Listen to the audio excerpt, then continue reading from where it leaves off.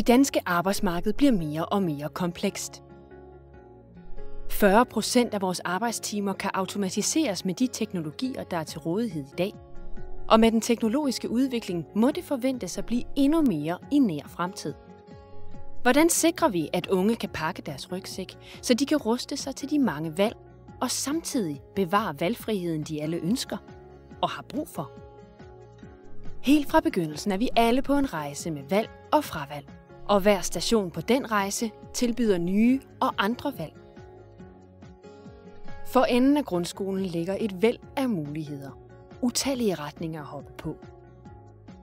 29,8 procent vælger den erhvervsfaglige retning for eksempelvis at blive håndværker eller socioassistent. 68,6 procent vælger den gymnasiale retning.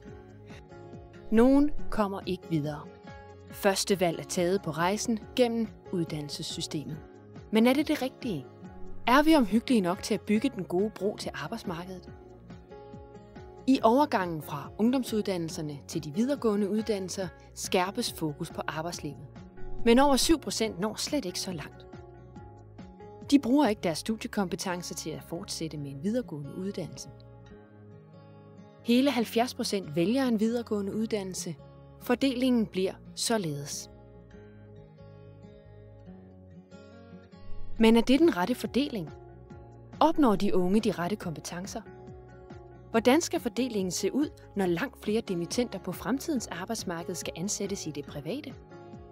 Og har vi som samfund råd til, at næsten en sjettedel aldrig opnår erhvervskompetencer?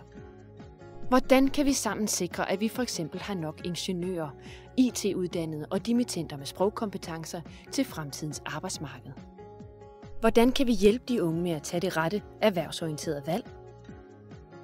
Fremtidens viden, vækst og velfærd sikres af, at vores unge vælger klogt og samtidig er engagerede og passionerede studerende.